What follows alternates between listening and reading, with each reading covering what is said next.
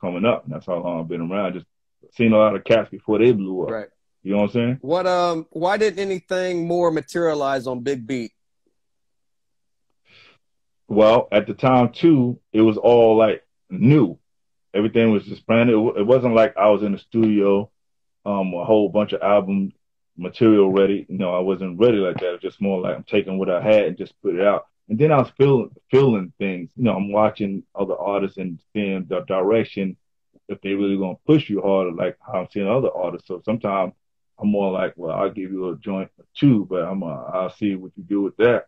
If it seems like it's really gonna, then I'm not gonna do nothing. I'd rather just do what I do. You know what I'm saying? Move how I move, and stay out there by any means until a good opportunity arises for me. Right.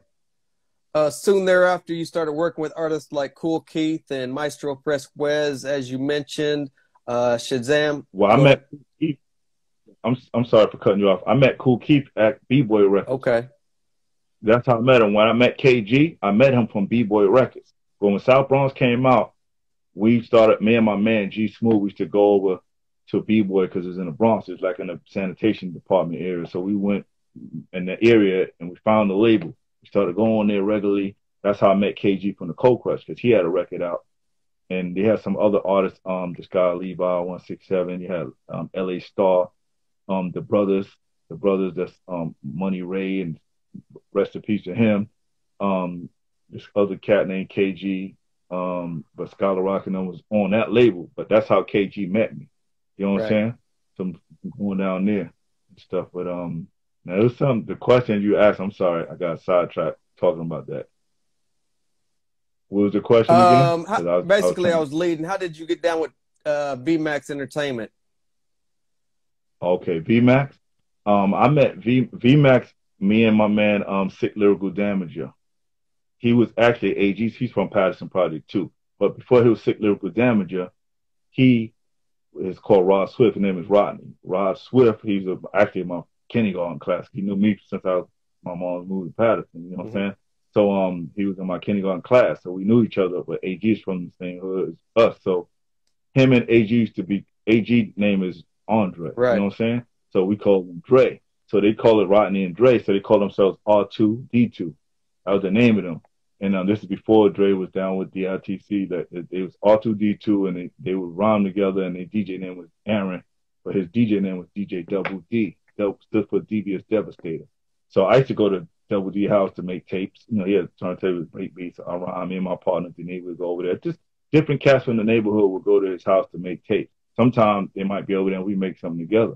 You rhyme, I'm around with this beat, you rhyme. But we're recording it on them Sony tapes or Maxwell's that's before we would make records. Like it was just about making a tape. You know what I'm saying? Right. So that's what we did, and that's and that's how um you know, far as like VMAX. So me and my man um Sick Lyrical Damager went out to Queens to Lefrak City, Queens, and there's some some open mic thing going on out there. Me and him from the Bronx, so we went out there together, and we met some cat named um Vance Reed, and um he was like the owner of the label, just a small indie, independent label, but he liked me and me and my man um Sick Lyrical Damager. Rod Swift changed his name to Sick Lyrical Damager. He called himself Lazy Eye now. But but I said you should stick to that name, Sick Lyrical Damage, because you put out records using that name. You could use the AKA Lazy Eye, but stick to Sick Lyrical Damage, Because if you Google it, you'll see more stuff under that name. So don't don't abandon it. You know what I'm saying? Right.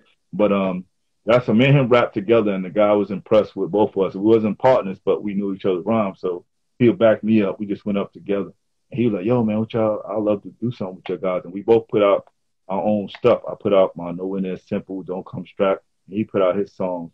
You know what I'm saying? And um, yeah, if y'all look it up, y'all, y'all hear the songs. You know what I'm saying? Then we made a song called Respect Costs More Than Money, which we had before our own independent songs, individual songs.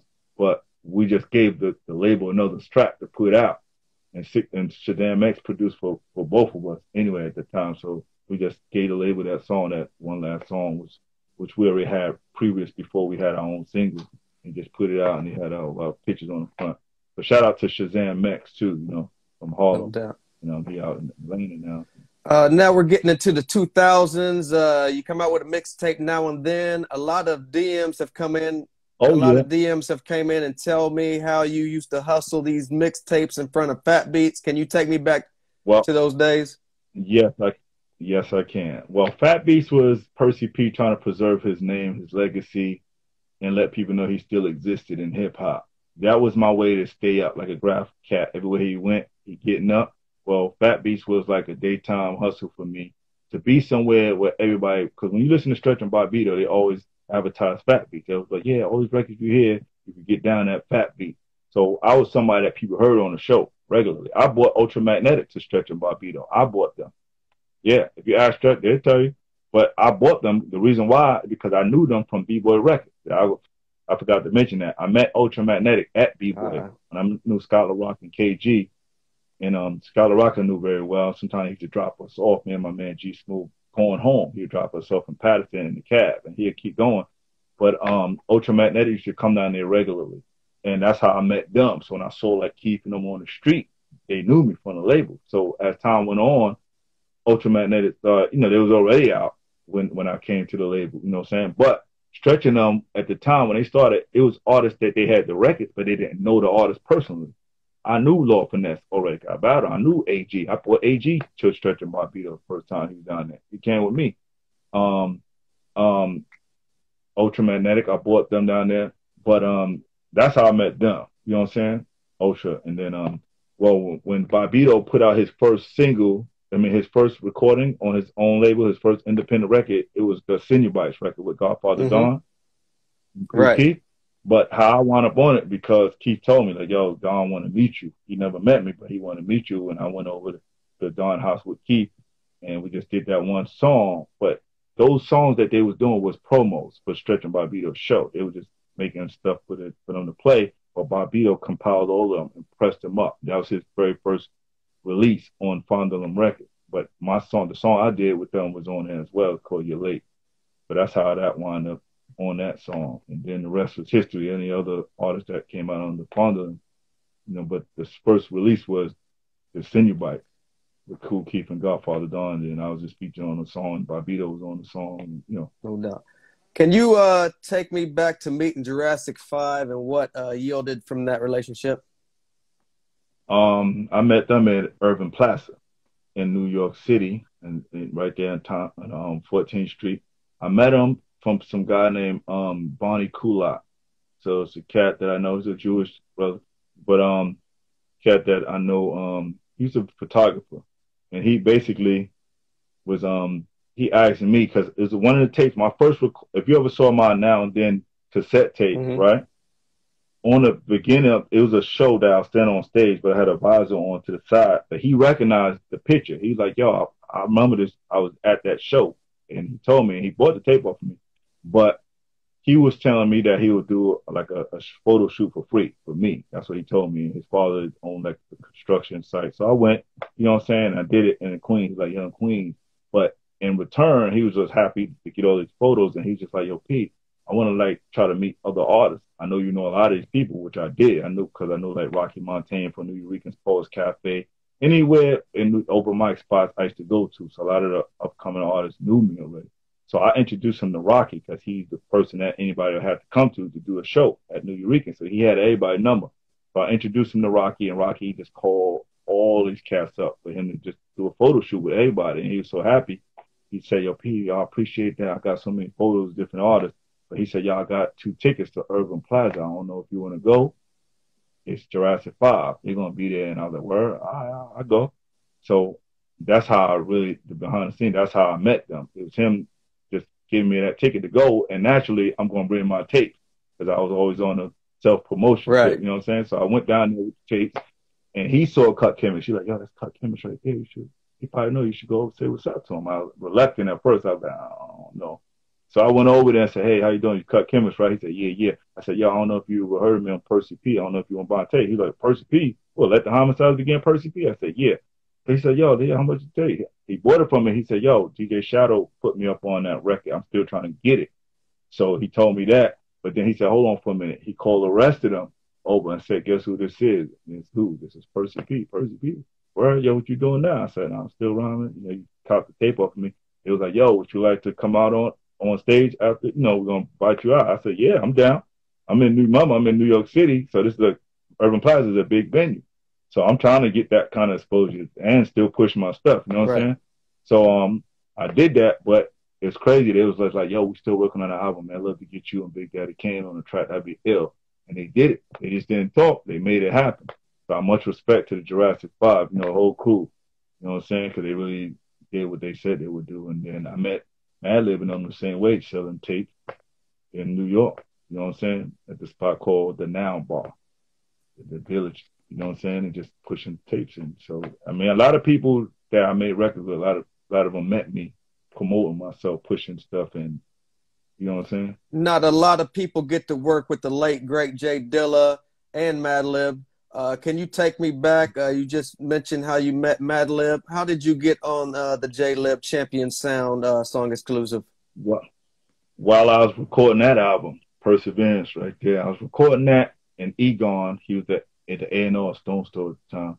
So he used to come to every session. Every time I record, Egon would come down there just to check, see how everything is going, and then he'd leave. But he came to every session, recording that whole album. He did.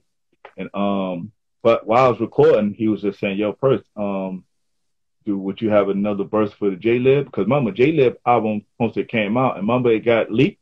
I don't know if you okay. remember that. It got leaked, so they had to come up with some extra song, and that's how I wound up getting on it. So he said, "Yo, you got something? Go around over this beat right here," and that's how how it went down. So J Dilla produced produced that track, but I actually did shows with them too, you know. And you can see like, you know, on, on YouTube, like I did on my Instagram, you can see a lot of flyers and stuff from old past events and all that footage. But yeah, there's a flyer with me, Wild Child, um, Oh No, that's Madlib's brother, and um, J Jaylib, Madlib and J Dilla. We all did a show at the Conga Room in L.A. You know what I'm saying? But there's footage of that show of them performing though. But my footage, I ain't my man. I know the cat that said he taped it, but I'm still waiting for that footage now. But there's footage. If you, if you Google J, Jaylib at Conga Room, you can see it like a lot of of their show. Right. Still, and I put a little clip of it on my YouTube playlist, on my right on my link on my own profile. In 2007, we finally got that solo debut album. What took so long, Percee P? Life. your life, man. You live in and trying to survive and just doing stuff. And sometimes, you know, oh, gotta try to maintain money doing this, that. So I was just trying to write when I could. But that was my chance, you know what I'm saying, to, to really finally get something that for people could really hear what I got. And I still got a lot left. You know what. I'm saying? But it was just like that. So I finally got a chance. And also me waiting for the right opportunity. Because I always met people that, yeah, man, I could put you out, I could do this, I could do that. But with Stones, though, it was different. It was more like I'm on the East Coast, but they're West Coast. Right. It was like, oh, shit, if I sign with them, it guaranteed me a West Coast fan base because the label's on the West. You know what I'm saying? So I like, well, I'll do that. And then I want to moving out there. You know what I'm saying? So I moved out there in like 2004, you know, but, um, it, it, you know, took a little minute cause, cause remember Wild Child was rhyming with Madlib. They to rhyme and Lootpack. Right. So in Rome, we could do tours, and I had to have to wait for Madlib to kind of come back from shows and get back to recording on my album and mixing and just, you know, trying to just fix up songs. But he started after a while, he started making remixes to it. You know, so he probably was hearing it so much, he started just thinking of, well, I'm gonna try to work on this. I'm gonna do another beat, and he wound up having two perseverances. You know what I'm saying? So when the first was gonna come out, they were gonna put a make it a double album and they separated the releases. They said we're gonna put out the original one, and then we're gonna put out the remix one like months later. You know what I'm saying? Right. So that's how that went down. But um, yeah, uh, that's how that went down, and um, working still doing it right working now. Working with you know? the sought after producer like Madlib, what did you learn from uh, working with him uh, for that album? Well, to be honest, I never recorded with him in the studio at first I took it personal. I was like, yo, I'm used to like people in the studio with me. Like, you know, T Ray, like all these cats I ever worked with was actually in the studio. But Madlib never came to the studio. So I didn't know how to take that at first. I was like, dang, he ain't come to the studio. But when I started reading other people interviews, like MF Doom came out before Perseverance. So I read on his interviews, yeah, man, I would get beat CDs from Egon, which I got. He used to give me CDs that said one to 50 beats, then another one um 50 to 100, another one 100 to 150, like that. And I ain't got these CDs. I wish I had them now, but but that's what I had to pick to say, okay, I'm gonna use this track, and he would let Egon know if that's available and like that. That's how I went. And then once I dropped my vocals, he took the vocals and then made what you hear now. Put the scratches and all. I ain't never tell him what to use. Only thing, um, only part I remember telling them was the part where J Dilla was like, um, on my part on the last of the greats. You better learn on one of the greatest alive. I remember saying, y'all want to use, I want to use that. And J-Rocc was the one from the Beat Junkies cutting, doing the scratches on the album, but he's cutting that up. But that's the only thing I had input. I just sit, I always say I want to use that. You know what I'm saying? It, and that's the only thing I, I've, ever gave input beats. Um, the woman behind me actually is the, the, the one that's on the video. That's actually, it says remix, but that's actually the beat I rapped over in the studio. But when the, when the album came out, what you heard is really the remix and on the remix album was the original. Gotcha. You know what I'm saying? So the video, the video version is the original Woman Behind Me. It's the original version, but they put out the remix, the other version on that Perseverance that you see behind me. Put that one out first, and then the remix. Threw the original version on the remix album. We got about five minutes before we get out of here. For those who may not have known what you have been up to since uh, that album, can you uh, tell us what you have been up to and what you're currently working on? Um, still I'm still with a lot of stuff. Hold on, I wrote some stuff down. For those who know, just go on my Instagram. Look at everything I post. You could Google everything. It's all there. Here's, you got my man Mr. Tough Cut. There's some vinyl about to drop right now. You could go on there and see the link. You could hear the, the whole the Bandcamp, but it's gonna come out on vinyl. I got a song called Beastin' on it. It's just me and this guy named Simon Vincent. But Tough Cut and it's um called Keep on Digging. So you'll see that right on my Instagram and then Platter Push and Codex album called Planet of the Misfits. I'm on that as well.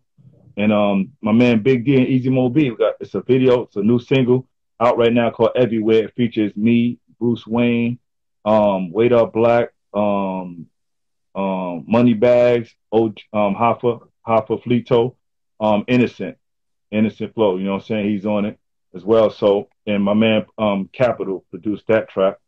But um, so I'm on. I'll be on like two songs on this album or three, and and um, the album before that called "This Is My Life." Big D and Easy Mo I'm on like two tracks on that. But if y'all want to go go to my Instagram profile and click click on the link. That that's a playlist. So you'll see a lot. I make sure I put album covers and everything so you can know what these songs is from.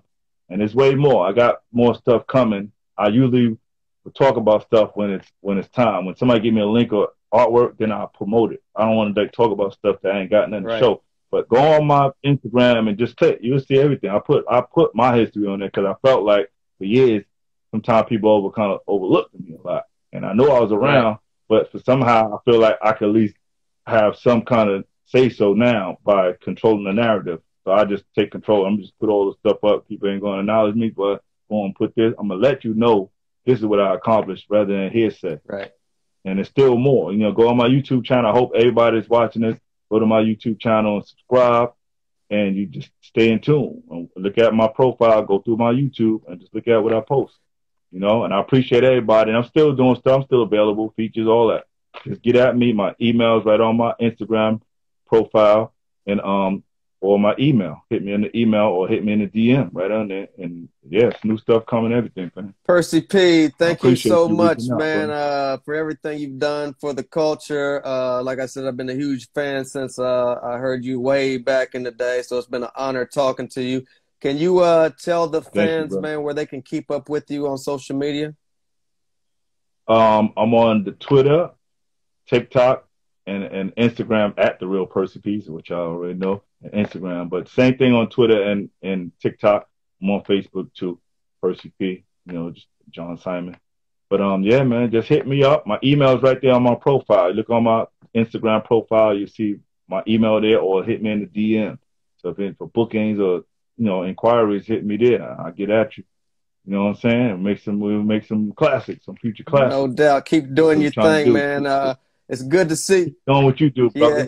I appreciate what you reaching out to me, and I appreciate what you do absolutely. Uh, keep doing your thing. It's absolutely a joy to see my heroes still doing their thing, and it's a, a, great feeling to be able to give you your roses while you're still alive and acknowledge you. Oh man, thank, no doubt. Thank you. I appreciate and that. Appreciate you, bro. And everybody that supported me out there, my kids, you know what I'm saying, wife, all that. Like I appreciate it all. You know what I'm saying? One love to all all the people out there. I, I ain't fall off. Y'all just go listen to that playlist. You see it? I still got them bars. no doubt. Still got them.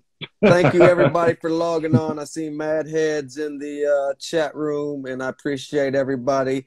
This has been episode yes, 95. Sir. Thank you so much, Percee P, and I'll see you again soon, yes, sir. sir. Salute. Salute.